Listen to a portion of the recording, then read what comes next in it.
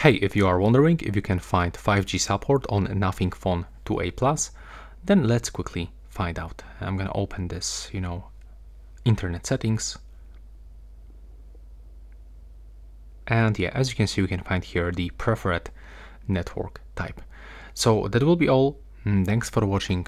Right now, please subscribe to my channel to get more information and tutorials about Nothing Phone 2A+.